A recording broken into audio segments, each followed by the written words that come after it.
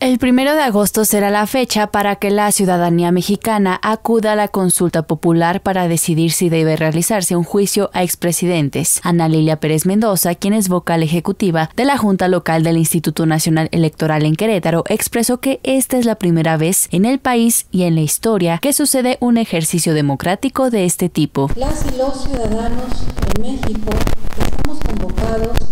participar en la primera consulta nacional convocada por el Congreso de la Unión y organizada por el Instituto Nacional Electoral en términos de lo que le determina la Constitución y las leyes secundarias aplicables a este ejercicio democrático.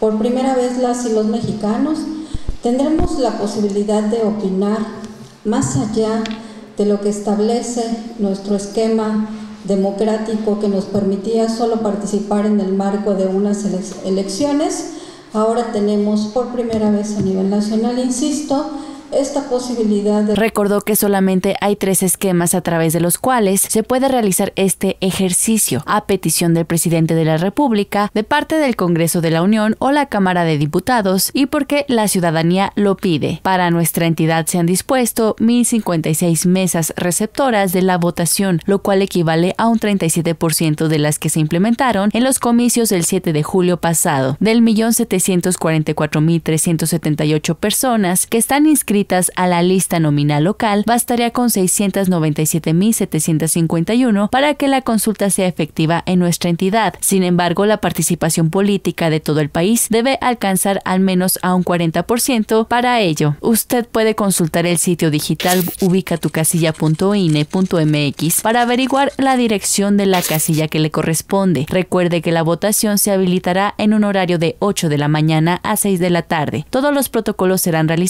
bajo estrictas normas sanitarias para evitar posibles contagios de COVID-19. Imágenes de Juan José Licea. Informó Aurora Vizcaíno Ruiz, Noticias RTQ.